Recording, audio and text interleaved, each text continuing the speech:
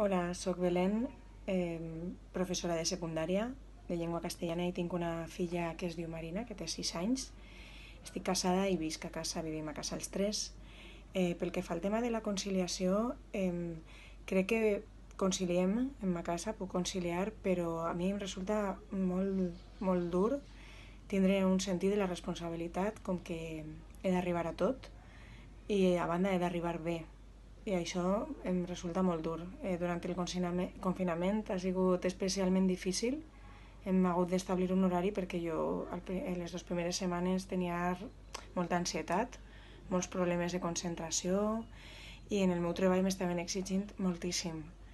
Aleshores crec que és important arribar a un punt intermig i hem de parar els peus a vegades i dir que, bueno, que nosaltres també som importants i és, és, és clar, hem d'arribar, però hem d'arribar sanes.